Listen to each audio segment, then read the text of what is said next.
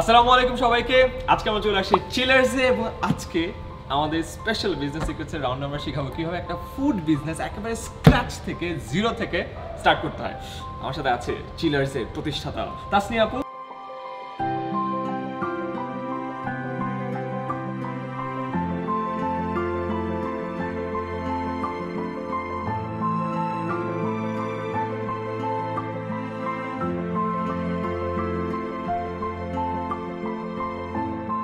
আপনি স্টার্ট করছেন? আর যদি বলেন তাহলে সবার সুবিধা হবে বুঝতে। কত টাকা নিয়ে স্টার্ট করছিলেন সত্যি কথা বলব না মিথ্যা বলব? দুটাই বলতে পারেন সত্যিটাও বলতে পারেন পরে একদম সত্যি কথা ফিফটি থাউজেন্ড টাকা মানে পঞ্চাশ হাজার টাকা দিয়ে চিলার স্টার্ট করা। আচ্ছা আপনি তখন কোন ইয়ারে পড়তেন? আমি মাত্র ফোর্থ ইয়ারে সো ইউনিভার্সিটি ফোর্থ ইয়ারে থাকা অবস্থায় পঞ্চাশ হাজার টাকা দিয়ে আপনি পুরো একটা ফিজিক্যাল স্টোর দিয়ে স্টার্ট এটা কমপ্লিটলি ইম্পসিবল মনে হয় বাট অ্যাকচুয়ালি ইম্পসিবল সো কীভাবে? হাউ ওয়াজ ইউর জার্নি একেবারে স্টার্টিংটা যদি বলেন। রানিং ক্যাপিটাল যেটা বললাম ফিফটি থাউজেন্ড টাকা একদম খুবই স্বল্প amount amount but running capital মানে যদি বলি যে আমার দোকানটা চালানোর জন্য যে ক্যাপিটালটা দরকার এটার চেয়ে বেশি আমার দরকার হয় না। আমার কাঁচা বাজার থেকে শুরু করে এভরিথিং আমার প্রথম যে স্টার্ট বাজারটা দিয়ে স্টার্ট করা সেটা ফিফটি থাউজেন্ডের মধ্যেই আমি অ্যাকোমোডেট করি। অ্যান্ড প্রথম যেটা বলব যে একটা মেয়ে হিসাবে খুব চ্যালেঞ্জ ছিল কারণ ইউনিভার্সিটি একদম শেষ করার পর্যায়ে এসে জব জবের ডিসিশনটা ছেড়ে একটা বিজনেস. ঢোকার ডিসিশন সব কেউ মেনে নিতে চাবে না খুব স্বাভাবিক ব্যাপার। বাট আই থিঙ্ক মানে যদি ধৈর্য সহকারে সবাইকে বোঝানো যায় প্যারেন্টস অ্যান্ড এভরিথিং এই এই জিনিসটা খুব ইম্পর্টেন্ট যে আমার নিজের ইচ্ছাটা কতটুকু হ্যাঁ আমি জানি বিকজ প্যারেন্টস আপনাদের না মানাটা অনেক মানে কথা বিকজ আমি নিজেও যখন চিলার্স আগে যখন ওই সাইডে ছিল তখন আমি হ্যাঁ। দুইবার আপনার দোকান পুরো ভেঙে দেওয়া হয়েছিল দুইবার পুরোপুরি দোকান ভেঙে দিল। অবশ্যই প্যারেন্টসরা বলবে হ্যাঁ আমি বলছিলাম হ্যাঁ। হবে না সমস্যা হবে বলছিলাম না তোরে যে দিয়ে হবে না বাংলাদেশ খারাপ জায়গায় ব্যবসা করা যাবে না। একদম এই কথাগুলো আমাকেও শুনতে হয়েছে। সো তারপরও আমি I was very much confident না এটা হবে করতেই হবে আমাকে কোনোভাবে আগে যেতে হবে। এইটুক পার করলে আমি সেটেল সো আমি একদমই কনফিডেন্ট ছিলাম অ্যান্ড আমি ওইটা চ্যালেঞ্জটা ওইভাবেই ফেস করছি যে ওকে ফাইন আমাকে করতেই হবে। অসম অ্যান্ড একেবারে জিরো থেকে স্ক্র্যাচ থেকে একটা ইউনিভার্সিটি স্টুডেন্ট এতগুলো ঝামেলার পরও ফিফটি থাউজেন্ড ক্যাপিটাল নিয়ে একটা স্টোর তৈরি করছে। নট জাস্ট স্টোর এখন আপনার কটা জায়গায় আউটলেট আছে? আমার এখন তিনটা বেডে তিনটা জায়গায়। অসম তো আজকে তাসটি আপু আপনাদের সবাইকে শিখাবে যে কীভাবে একটা ফুড বিজনেস স্টার্ট করতে হয় নট জাস্ট স্টার্ট শপের প্লেসমেন্ট কীভাবে সেট করতে হয়, কীভাবে টিম তৈরি করতে হয়, কীভাবে প্রকিউরমেন্ট করতে হয় মেনু কীভাবে সিলেক্ট করতে হয় দেন প্রাইসিং ব্র্যান্ডিং কীভাবে করতে হয় মার্কেটিং কীভাবে করতে হয় সেলস কেমনে বাড়াবেন, বিক্রি বাটা তো বাড়ানো লাগবেই and finally accounts and finance কীভাবে সেট করতে হয় সব কিছু সে পুরোটা নিয়ে আজকে আমরা ডিটেলসে কথা বলব so let's start from the shop placement একদম। স্টুডেন্ট আমল থেকে যদি আমি কোনো কিছু করতে চাই একদম স্ট্র্যাটেজিক ওয়েতে যদি আগাই পারফেক্টলি একটা বিজনেস দাঁড় করা যাবে। এভরিথিং আমি আজকে বলব অনলি ফর দ্য পিপল যারা একদম শর্ট অ্যামাউন্টে দারুণ একটা বিজনেস সেটেল করতে আরে আপনি তো বেশ ভালো কথা বলেন এটা পুরো সেলস পিচ দিয়ে দিল। ভিডিওর সেলস পিচ ছিল। অলরাইট ওকে স্কুল কলেজ হ্যাঁ। ফার্স্টে বলতে গেছিলাম হ্যাঁ। কারণ হচ্ছে স্কুল কলেজের যারা স্টুডেন্টরা তারা খেতে খুব পছন্দ করে অ্যান্ড সবসময় রেস্টুরেন্টটা ভরা থাকবে এটাই মাথায় থাকে। বাট যখন বন্ধ থাকবে তখন আমরা কি করব? সো হ্যাঁ। আমি স্কুল কলেজ টার্গেট করি so the biggest strategic disadvantage হলো যখন স্কুল কলেজ বন্ধ থাকতেছে আমার ব্যবসা বন্ধ হয়ে যাচ্ছে। সো আই হ্যাভ যে স্কুল কলেজের ছেলেমেয়েরা যেন আসতে পারে বাট শুধুমাত্র এটার উপর ডিপেন্ডেন্ট না হয়। অসম টিম ক্রিয়েশন শুরুতে কয়জন টিম লাগছে মানে টিমের মেম্বার লাগছে এবং কোন কোন রোলে আমার তিনজন ছিল। তিনজন। আমি ঠিক আচ্ছা। আছে? আমি ওইখানেই বাজেটটা কাট করে দিয়েছি কারণ আচ্ছা। হচ্ছে ফার্স্টে আমি আমার পিছনে এক একটা শেফের পিছনে বা যারা কাজ করে তার পিছনে আমার একটা ইনভেস্টমেন্ট করতে হতো। আমি নিজে শিখে পারফেক্টলি শিখে আমি নিজে ইমপ্লিমেন্ট যেটা আচ্ছা। যেহেতু আমার একটা প্যাশন ছিল সো আমি নিজে কিছুটা পারতাম ওখানে আমি কিছুটা বাজেট কাট করে কি কি রোল মানে শুরুতে টিমে কোন কোন? মানে তিনজন দিয়ে লাগছে। মানে কি কি রোলে রাখছে একটা শেফ একটা শেফ আমি আইটেমস অনুযায়ী যেমন ধরো আচ্ছা। আমার শুধু শেকস ছিল হ্যাঁ। সো আমার জন্য তিনজন ইনাফ ছিল। একজন সার্ভিং এ কাউন্টারে সার্ভিং কিচেনে কিচেনে দুজন। দুইজন। কিছু দুজন মাত্র দুজন আমি আর আচ্ছা। So it was perfect so একজন হলো সার্ভিং এ। সার্ভিং এ। সার্ভ করতেছে অ্যাকাউন্টস মেইনটেইন করতেছে সব কিছু সার্ভ করতেছে। Right Okay. আর কিচেনে দুইজন। কিচেনে দুজন দুজনই শেফ দুজন মানে দুজনই পার- পারতে হবে কারণ আচ্ছা। একজন পসিবল না। যদি মোটামুটি ক্রাউড থাকে দুজন একজন একজন পসিবল না। দুজন লাগবে আচ্ছা অলরাইট সো আমি যখন স্টার্ট করব একদম বেসিক যে সার্ভিং এর জন্য একজন আর পিছের কিচেনের কিচেনে জন্য। দুজন লাগবে। আর এখন যখন টিম বড় হয়েছে তখন? এখন তো তিনটা তিনটা যদি আমি বলি তিনটা বেঞ্চার্স মেনটেন করতে আমার ফিফটিন অ্যারাউন্ড মানুষ লাগে। আচ্ছা। সো এখন লাগে আগে লাগতো না। আচ্ছা। অলরাইট প্রকিউরমেন্ট প্রকিউরমেন্ট হচ্ছে আমার দুই রকমের প্রোডাক্ট একটা হচ্ছে পচনশীল পচে যাওয়ার মতো। হুম। আর একটা হচ্ছে যেটা আমার পচে যাবে না। একটু লং টার্ম ভ্যালিডিটি থাকবে আমার প্রোডাক্ট সো ওই দুইটা একটা আইটেম আমি পুরো এক মাসের জন্য স্টোর করে ফেলি বা দুই মাসের জন্য স্টোর করে ফেলি। আলাদা করে স্টোর করে রাখি আর যেগুলো কাঁচা বাজার ডেলি ছেড়ে ডেলি ডেলি করতে হবে।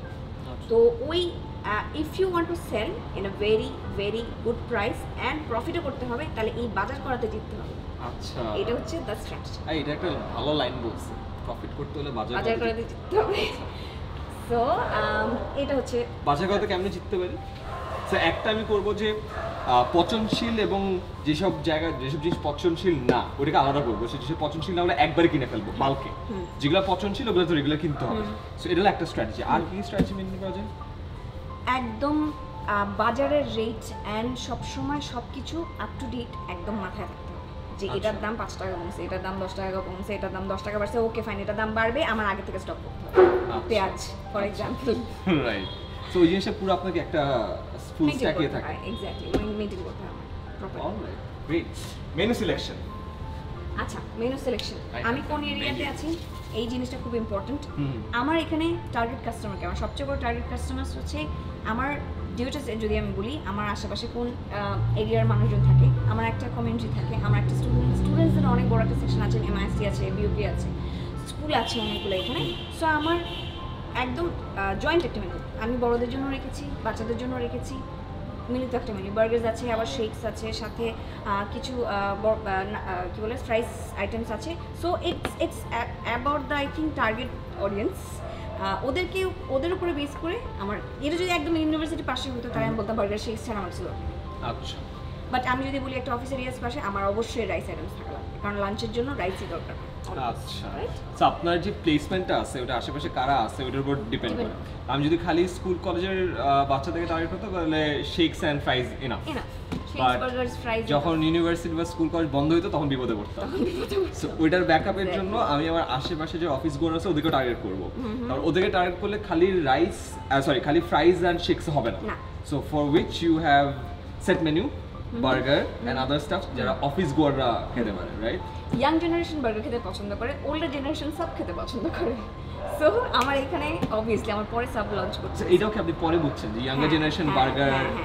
আমার ওল্ডার জেনারেশন এসে চাচ্ছে আমি দিতে পারছি না। তখন আমি I added the things in my menu যে ওকে। ফাইন সাব পছন্দ করে নাচস পছন্দ করে আমার সুপস পছন্দ করে রাইস পছন্দ করে সো ওই জিনিসগুলো আমি ক্যাট করতে তার মানে মেনুটা যে শুরুতে আমি এটা ভালো বানাইতে পারি ওই ভালো বানাইতে পারি জন্য আমার মেনুতে থাকবে তা না। এই মেনুটাও সিলেকশন হবে যে আমার দোকানটা কোথায় দোকানের আশেপাশে কারা আছে তারা কি পছন্দ করে কোন সিজনে কারা। খাবে এবং ওইটার উপর বেসিস করে ওই সময় ওইটা বানাবো। নাম্বার ওয়ান এক্সাম্পল শীতকালে চিলার্সের শেকস একটু কম চলে তখন আমাকে কফি লঞ্চ করতে হয়েছে। রাইট এখন শীতকাল। এখন শীতকাল, এখন আমাকে আমার স্যুট বুট পরে আছে ঠান্ডা বাইরে অনেক। এখন এখন যে হট কফিটা খুব চলবে। হট চকলেট লঞ্চ করা হয়েছে চিলার্স থেকে Oh, যেটা strategy. So, হ্যাঁ, শীতকালে ঠান্ডা আইটেমগুলো কম চলবে। So you do of course অন্য আইটেম দিয়ে তো আর ড্রিঙ্কের রিপ্লেসমেন্ট হয় না। সো হট চকলেট লঞ্চ করো কফি লঞ্চ করো. এই টাইমে এটা ভালো চলবে। হ্যাঁ। ভালো শিখলাম। অলরাইট প্রাইসিং এটা সিক্রেট বলেন। প্রাইসিং প্রথমে আমি বলেছিলাম যে. প্রকিউরমেন্টটা হচ্ছে প্রাইসের সাথে রিলেটেড হ্যাঁ। সো বাজার করে জিততে হবে। বাজার করে জিতবো বাট এই যে প্রাইসিং যেগুলো বানিয়েছেন কেমন যে এই রেটগুলো okay there is a fifty fifty rule আচ্ছা fifty fifty rule fifty fifty rule হচ্ছে you are doing your business fifty percent যাতে আমার প্রোডাক্টটা বানাইতে খরচ হয়। সেই জিনিসটা আমার মাথায় থাকতে হবে যে ফিফটি পার্সেন্টের মধ্যে আমার খরচটা আসতে হবে বানানোর। এরপরে আসবে আমার স্টাফ কস্ট দোকান ভাড়া আমার ব্যাটারি কস্ট এগুলো আমি নেক্সট চেষ্টা করব হয় না সবসময় বাট চেষ্টা করব যাতে অ্যাটলিস্ট আমার এইটি থেকে এইটি ফাইভ পার্সেন্ট ক্রস না করে। বাট আচ্ছা এখানে একটা কথা আছে অবশ্যই সেলস টার্গেট থাকতে হবে। আচ্ছা। সেলস টার্গেট অনুযায়ী প্রাইস দেবে সো আমি যদি বলি যে this is hundred percent so আপনি টার্গেট করতেছেন যে ফিফটির মধ্যে সব কিছুর মানে বানানোটা হয়ে যাবে। অ্যান্ড দেন এইটির আরও থার্টি পার্সেন্টের মধ্যে আদার এক্সপেন্স হয়ে যাবে। এক্সপেন্সেস রাখতে হবে। বাট এই জিনিসটা আমরা অনেকে ভুল করি যারা নতুন নতুন বিজনেস করি ভুল করি যেটা হচ্ছে আমরা একদমই একদম লো মার্জিন আছে ঠিক আছে বাই ওয়ান গেট ওয়ান দিয়ে দিলাম ইচ্ছা মতো। এই জিনিসটা করলে আমি লং টার্মে সাস্টেইন করতে পারব। So this is basically the idea যেমন যদি হান্ড্রেড পার্সেন্ট হয় ফিফটি পার্সেন্টের মধ্যে আমার বানানোটা হয়ে যাবে। বাকি ফিফটি পার্সেন্ট যে প্রফিট তা না কিন্তু। বাকি ফিফটি পার্সেন্টের মধ্যে রেন্ট আছে এইচআর এক্সপেন্স আছে আদার এক্সপেন্স আছে সো ওই সবগুলো বাকি থার্টি পার্সেন্টের মধ্যে। সো টোয়েন্টি পার্সেন্ট আমার থাকবে অ্যাটলিস্ট প্রফিট যদি এইটা যদি আমি না করতে পারি at the end of the day sustain করা সাস্টেন করা খুব ডিফিকাল্ট বুঝতে পারছি। সো ফিফটি ফিফটি রুল এইটা হ্যাঁ that's that's a nice good. Idea nice আর আপনার কখনো হয়েছে কোনো একটা আইটেম অনেক ভালো চলছে যেটার প্রফিট মার্জিন যেমন আমি অনেক জায়গায় শুনি যে ড্রিঙ্কগুলোর প্রফিট মার্জিন হায়ার আবার সেট মেনুগুলোর প্রফিট মার্জিন আবার lower how do you balance it ওইটা অ্যাভারেজে চলে আসবে যখন সেলস টান দিব এ টু জেড তখন আমার অ্যাভারেজে চলে আসবে তখন ওইটা আমি ব্যালেন্স করতে পারব। আচ্ছা। কারণ আলটিমেটলি আমাকে ফিফটি পার্সেন্টের মধ্যেই থাকতে হবে। আচ্ছা। সো দ্যাট আমি যদি সেট মেনুতে প্রফিট মার্জিন কম থাকে এখানে আবার একটু বাড়াইতে হবে। সো দ্যাট ওভারঅলে যে আবার যে আমার সেলস ভলিউমে পঞ্চাশ পার্সেন্টের উপরে আমার খরচটা হওয়া যাবে না বাজার খরচ। বাজার খরচটা। আচ্ছা। কারণ মানুষ ভাবে খালি যেমন আমরা যারা অ্যাকচুয়ালি খাই তারা খালি চিন্তা করে এটা বানাতে তো এতটুকু খরচ হয়েছে। বাট এটা বানাতে এতটুকু খরচ হয়েছে বাট ভাই লাইটের টাকা কে দিছে? এই ইন্টারনেটের টাকা কে দিছে? অফিস এক্সপেন্স দিছে ভ্যাট ফিফটিন পার্সেন্ট পার্সেন্ট আছে। সো এইটাও আমার কিন্তু আচ্ছা ভ্যাট নিয়ে আমরা কথা বলছিলাম। ভ্যাটের এখন আগে আপনাদের সাড়ে সাত পার্সেন্ট ছিল রাইট হ্যাঁ এখন আমাদেরকে পনেরো পার্সেন্টই দিতে হয়। সাড়ে সাত পার্সেন্ট ছিল বিকজ আপনার এসি ছিল না। হ্যাঁ। সো ভ্যাটের একটা কাহিনী আছে আমি আজকে শিখলাম এটা এখানে আসে যেমন এগুলা ব্যবসা না করলে শেখা যায় না যে এসি না থাকলে সাড়ে সাত পার্সেন্ট। এসি থাকলে পনেরো পার্সেন্ট এখন সবই পনেরো পার্সেন্ট এখন সবাই আম সরি গাইজ যারা এসি ছাড়া শুরু করার প্ল্যান করতেছে প্রাইস ব্যাট কিন্তু ইনক্লুসিভ সো আমি আমার পকেট থেকে ব্যাট দিই। That's good alright so pricing গেল মার্কেটিং আর আচ্ছা marketing and branding Yeah. The most important thing নাওয়াডেজ আমার কাছে মনে হয়। আমি একটা দোকান যেখানে সেখানে খুলে বসলাম আমি পরে প্রমোশন করলাম না। কেউ যদি না আসে আমি ব্যবসাটা করব কি করে? তো মার্কেটিংটা আমার চিলার্স যেটা স্টার্ট করেছিলাম আমি ওয়ার্ড অফ মাউথ দিয়ে স্টার্ট করেছিলাম। এখন এত রিভিউজ হয় এত কিছু মানে আমরা প্রমোশনস করি বুস্টিং করি সবাই না বিলিভ করতে চায় না। সো ওয়ার্ড অফ মাউথটা আমার কাছে মনে হয় খুব ইম্পর্টেন্ট চিলার্সের পটেটো উইজেস ভালো। আমি তো এটা অনলাইনে বুস্ট করি না এটা জানো কি করে মানুষ? ডিউ ইট এত ফেমাস ই করে হলো ওয়ার্ড অফ মাউথ আমাকে ট্রাস্ট করতে পারে চিলার্সকে ট্রাস্ট করতে পারে। This is very important now it is আমার মনে হয় মোর দ্যান সোশ্যাল সো আপনার মানে ব্র্যান্ডিং এর মার্কেটিং জন্য কি কি একটা হলো ওয়ার্ড অফ মাউথ একটা হলো ওয়ার্ড অফ মাউথ আর? সেকেন্ড হচ্ছে অবশ্যই সোশ্যাল মিডিয়াতে you should have a very good page social media yes আচ্ছা আর? অ্যান্ড লাস্টলি uh, আমার মনে হয় যে লিফলেটস লিফলেটস ইউজ করেন হ্যাঁ অ্যান্ড প্রমোশনস যেটা আমরা পেপার প্রমোশনস হ্যাঁ। ওগুলো ইম্পর্টেন্ট বাট অকেশন ওয়াইজ ওইটা হচ্ছে ফর একটা কোয়ার্টার ধরে আমি এক কোয়ার্টারে করলাম সেকেন্ড কোয়ার্টার করলাম থার্ড কোয়ার্টার করলাম because it adds a very good cost আচ্ছা। তার মানে এটা এটা একদম ফ্রি একদম তার থেকে একটু বেশি খরচ এইটা। হ্যাঁ। তার থেকে বেশি খরচ এইটা। হ্যাঁ। তার মানে আমি যখন স্টার্ট করতেছি আমি একেবারে ওয়ার্ড অফ মাউথ দিয়ে স্টার্ট করব. একেবারে যখন আমার টাকা পয়সা নাই। হ্যাঁ আমার ফ্রেন্ডস তার ফ্রেন্ডস তার ফ্রেন্ডস তার ফ্রেন্ডস তার ফ্রেন্ডস সো রেফারেল রেফারেল. যখন আমার একটু টাকা হবে তখন আমি সোশ্যাল মিডিয়াতে বুস্ট করব। এক্স্যাক্টলি আশি টাকা দিয়ে পার ডে বুস্ট করা যায়। এক ডলারের পার ডে বুস্ট করা যায় অ্যান্ড এইটা আমি যেমন এখানে একটা স্ট্র্যাটেজি বলে দিই সোশ্যাল মিডিয়া র্যান্ডম বুস্ট করে লাইক পাওয়ার কিন্তু কোনো দরকার নাই। জিও টার্গেটিং করতে হবে বিকজ আপনার দোকানটা যেখানে আপনি তো চান তার আশেপাশের মানুষকে টার্গেট করতে। সো র্যান্ডম ঢাকার মানুষকে টার্গেট করতে লাভ নাই. সো জিও টার্গেটিং করে আপনার লোকেশনের আশেপাশের মানুষকে টার্গেট করবেন। আর তারপর যদি আরেকটু বেশি টাকা হয় তারপরে লিফলেট ব্রোশার এগুলো সো সোশ্যাল মিডিয়াতে আপনি একদম মানে বেসিক স্টার্ট করার জন্য এক ডলারও বুস্ট করা যায় লাইক আশি টাকা। আর- আশি টাকা নাথিং নাথিং আর leaflets leaflets quarter wise occasion wise যেমন ধর বিজয় দিবসের একটা প্রমোশন ছেড়ে দিলাম। আচ্ছা। ওকে ফাইন এটা আমার খুব ভাইরাল যাওয়া দরকার। আমি কি করব? আমি বিউটিতে যে ডিস্ট্রিবিউট করব আমার আশেপাশের স্কুলগুলোতে যে ডিস্ট্রিবিউট করব আশেপাশের সোসাইটিতে ডিস্ট্রিবিউট করব। সো এই অকেশনে আমার যে সেলটা হয় এটা দিয়ে আমি একটা ধরো আমার ভালো একটা বুস্টিং আমি ওই মাসে চলে আসব। রাইট সো আমার যখন ওকেশন বা অফার থাকবে তখন আমি লিফলেট ইউজ করব। আর লিফলেটের প্রাইস কেমন পড়ে? মাত্র পার লিফলেট যদি আমি বলি মাত্র দুই টাকার মধ্যে কালার না black and white colour colour leaflet দু টাকা। দুই টাকা। যদি বাল্কে করতে। বাল্কে করতে same half ream full ream ধরে করে ফেলব আমি। Got it so that's the idea এটা ফ্রি এর একটু টাকা দিয়ে শুরু করতে হয় at least one dollar per day মানে আশি টাকা পার ডে আর লিফলেটের দাম তো বললাম কালার লিফলেট এ ফোর সাইজে দুই দুই টাকা। অসম এবার আসে সেলস আপনি সেলস টার্গেটের কথা বলছেন। সেলস টার্গেট কেমনে সেট করেন? সেলস বাড়ান কেমনে? বিক্রি বাট্টা কেমনে হয়?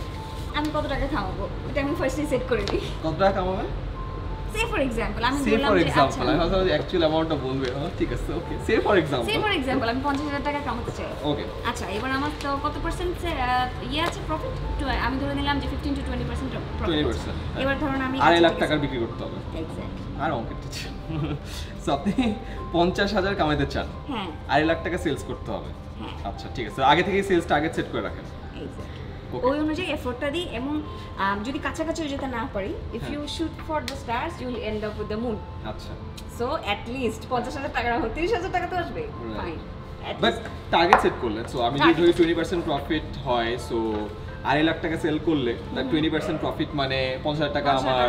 মাস শেষে থাকতেছে বাট এটা তো আমি টার্গেট সেট করলাম বাট এটা অ্যাচিভ করেন কেন ওই সেলসটা ওই যেটা বললাম branding is very important.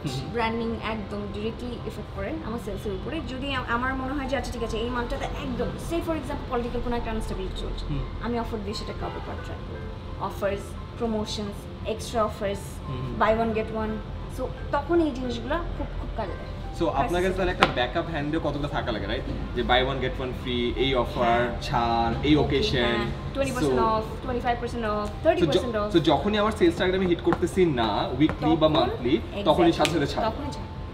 So that least at the end of the day যেন আমার আড়াই লাখের সেল হয় আমার পঞ্চাশ টাকা প্রফিট হয়. So it has to be একেবারে specific alright and finally finance and account এটা নিয়ে তো সবাই বাড়ি খায়। লোকজন নেয় লোকজন জিনিসপত্র নিয়ে আমরা একটু শুনতেছি না ভাগে জিনিসপত্র নিয়ে চলে গেছে এই হয় সেই হয় অনেক ঝামেলা। কথা সোজা কথা আমার বাজারের রেট সম্পর্কে হান্ড্রেড পার্সেন্ট আইডিয়া থাকতে হবে। অ্যান্ড আমি কতটুকু সেল করছি ওইটা এক্স্যাক্টলি আমি টানবো পুরো মাসে। যে ওকে ফাইন ঠিক আছে আমার মাসে তিন লাখ টাকা সেল হলো। তিন লাখ টাকা সেল আমার খরচ কত গেল এত কত গেল আমার টোয়েন্টি পার্সেন্ট আছে কিনা? এই জিনিসটা যদি আমি প্রপারলি মেনটেন করতে পারি ওকে ফাইন আমার হাতে এক্স্যাক্টলি টোয়েন্টি পার্সেন্ট আছে আমি জিতে গেলাম। আচ্ছা। সো তারপর ওই- অনুযায়ী ব্যাখ্যা হ্যাঁ ওই পুরা হিসাবটা একদম খাতায় কলমে থাকা। নিজের কাছে নিজের ফিগার একদম এই টু জেন আমি ফিগার্সগুলো দেখতে পারব কাউন্ট করতে পারব দ্যাটস ভেরি ইম্পর্টেন্ট আর আদার কি টিপস ফর এক্সাম্পল এখন যেমন অনেক যে উবার ইটস পাঠাও সহজ এগুলোর ইয়ে কেমন? ওকে এখন অনলাইন এখন সেলস করাটা আরও বেশি ইজি বিকজ এখন আমাদের কাছে অনেকগুলো হোম ডেলিভারি আছে। সহজ পাঠাও ফুড পান্ডা হানি নাকি সব অ্যাটলিস্ট চারটা থেকে পাঁচটা হোম ডেলিভারি সার্ভিস আছে যে যারা আমাদেরকে অনেক বেশি আচ্ছা সো ওরাও একটা মানে ভ্যালু অ্যাড করে ওদের প্রমোশনটা আমরা সোশ্যাল মিডিয়াতে করতে পারি বা ওয়ার্ড অফ মাউথে করতে পারি। এই যে উবার ইটসের ব্যানার দেওয়া আছে। সো আউটলেটসগুলোতে ওদের সাথে অ্যাসাইন করে আউটলেটসে ওরা দিয়ে দিয়ে যাবে লিফলেটস এন্ড এটা কীভাবে করতে হয়? ফর এক্সাম্পল একটা আমি আজকে নতুন দোকান খুলছি। হ্যাঁ। আমি ওদেরকে কি আমি যে ওদেরকে নক করব? ওরাই নক করে নর্মালি আচ্ছা। আমার ক্ষেত্রে হয় না এরকম হ্যাঁ। বাট নর্মালি যখন আমি স্টার্ট করি সো ইউ ক্যান কন্ট্যাক্ট আমি তখন আমি যেরকম উবার ইটসের আমার কোনো কন্ট্যাক্টই ছিল না হ্যাঁ সো আমার সোশ্যাল মিডিয়া কি করতে আছে social media I just posted যে কেউ আছে কিনা এই এর ফ্রেন্ডকে রেফার করে দিল ওর ফ্রেন্ড করে দিল তো I got the but make sure যে আপনার টপ যে চার পাঁচটা সবাইকে আনা কারণ কার কাছ থেকে সবাইকে অফার আসে তার ঠিক ঠিক তার এক্স্যাক্টলি অসম সো আজকে এই ভিডিওটা দেখার পর অনেকে হয়তো পুরো আইডিয়াটা পেয়ে যাবে যে কিভাবে পুরো জিনিসটা চালাতে হয় Exactly. But then again if you have any special advice for example ধরে নেন যে ক্যামেরার পিছে যে সাকিব আছে ও আজকেই স্টার্ট করবে ওকে ফাইনাল কোনো যদি অ্যাডভাইস দেওয়ার থাকে? যদি চিন্তা করি রেস্টুরেন্ট স্টার্ট করবা পঞ্চাশ হাজার টাকা দিয়ে শুরু করে দাও থামবা না যেন দৌড়াবা। ওর কাছে পঞ্চাশ টাকা অনেক বেশি টাকা আছে ওর প্রবলেম হবে যে দুদিন পর নাই হয়ে যাবে। So what happens to those people যারা কিনা ওই মোটিভেশনটা পায় না? যে আচ্ছা আছে বাট একটা ঝামেলা হইলে আমি উঠে যাব। একটু ব্যবসা। ব্যবসা হলো ধৈর্যের জিনিস। তুমি যদি লং টার্মে ধৈর্য নিয়ে থাকো তুমি জিতবে। আর যদি তুমি ধৈর্য নিয়ে না গাইতে পারো যে না একটা বাড়ি খেলাম পড়ে গেলাম হ্যাঁ। তাহলে হবে। এনি লাস্ট গুটিবাজি আইডিয়া যেটা আপনার লাইফে বা চিলার্সের গ্রোথে অনেক হেল্প করছে? আচ্ছা you have to be a goonda. Goonda? Hmm you আচ্ছা। Have to be a very good goonda যদি ব্যবসা করতে চাও। ভয়েস থাকতে হবে you have to be vocal না এটাই হইতে হবে না এটা রং এটা right you have to be very good awesome I hope আজকের এই সেশনটা আপনাদের অনেক ভালো কাজে লাগবে। Thank you so much Tasi আপু। আমাদের এখন রাত বাজে সাড়ে বারোটা বারোটা পঁয়ত্রিশ। তাও আমরা এখানে সবগুলো জায়গায় শাটার লাগাই দিচ্ছে সব মানুষ চলে গেছে তারপরে শ্যুট করতেছি। বাইরের একটা আওয়াজ হচ্ছে রেডি মিক্সারের আমরা অনেক রিকোয়েস্ট করছিলাম তাদেরকে একটু বন্ধ রাখার জন্য বাট তারা আমাদের রিকোয়েস্ট রাখে নাই। বাট আমি জমে যাবে আর আর ওদেরও ব্যবসা আছে। মেইন আমি আপনার মতো এখনও গুন্ডা হইতে পারি নাই, এই জন্য জন্য ওরা আমাকে গুন্ডা হয়ে আমার কথা শুনে নেয়। গুন্ডামি শিখে যাব কাজ যাবে। ইউ গাইজ লাইক দেখাবে ইনশাল্লাহ